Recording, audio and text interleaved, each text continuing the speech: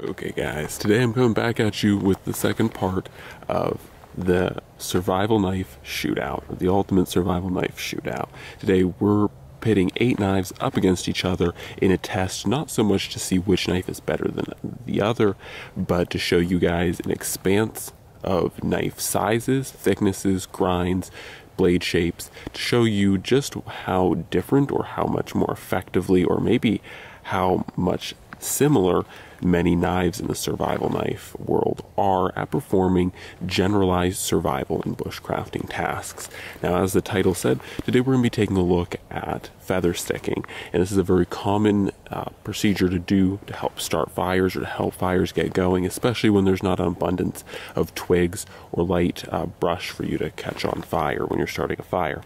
However, I'm sure most of you are aware of that, so let's cut to the chase and get to the video.